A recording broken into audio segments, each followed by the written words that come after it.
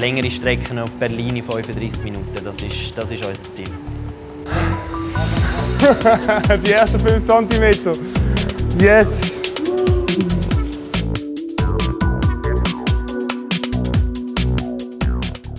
Wir haben das Ganze entworfen, Produktentwicklung, wir haben es designt, ausgelegt, konstruiert.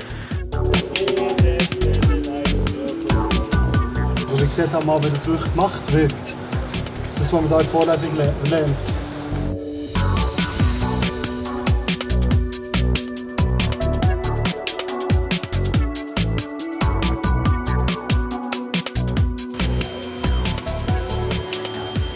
Unsere größte Herausforderung ist eigentlich die Zeit, weil wir haben sehr wenig Zeit gehabt, das Ganze zu entwickeln, zu konzipieren und zusammenzubauen. Und in vier Wochen fliegen wir dann auch nach Amerika und das Ganze muss funktionieren, ohne dass wir es einmal getestet haben.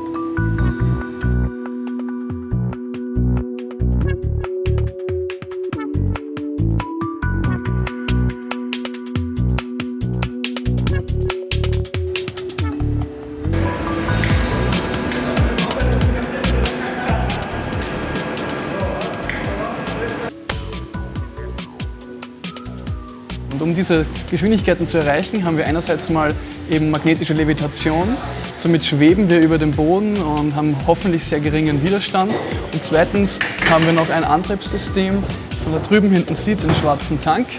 In den füllen wir Luft mit 200 Bar und das ist eigentlich wie auch bei einer Rakete ein Antrieb.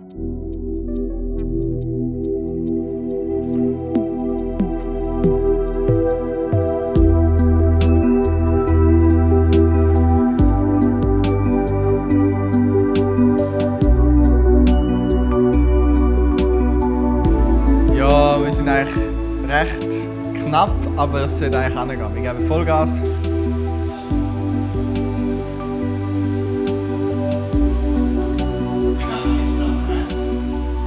Und man hat eigentlich von Anfang an gesagt, ja, das funktioniert dann nicht so gut und wird sehr schwierig.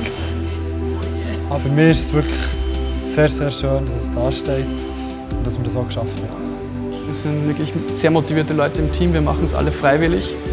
Das ist unglaublich und ich möchte eigentlich keine Sekunde missen von der Erfahrung.